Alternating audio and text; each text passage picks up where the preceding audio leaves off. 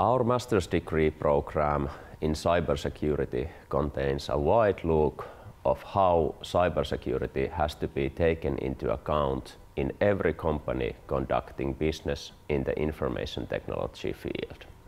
Our degree program is 60 ECTS in length and it takes approximately two years to complete. The courses are run on weekends, on Fridays and Saturdays, and they are planned that you can do your day-to-day -day job alongside with them.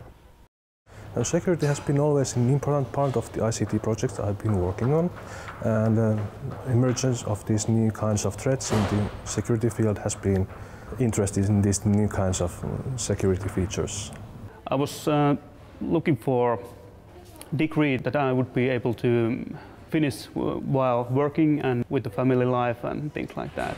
And I believe the, this degree was the best solution for that. So uh, I'm the leader of the RED team and my role has been to organize uh, since uh, before the exercise started that all the cam campaigns are prepared and they are ready for execution and now I'm coordinating that everything is going smoothly.